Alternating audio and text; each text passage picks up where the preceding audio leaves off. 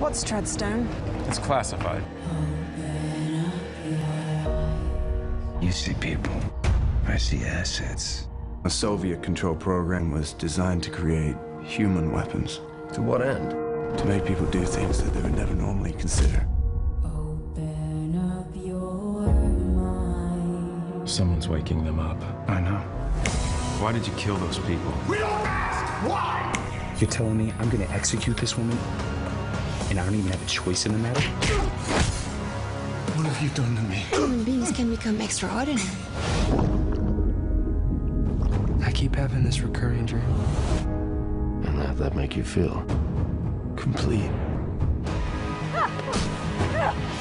Are you in? Of course I'm in. I guess I'm not feeling myself lately. Oh,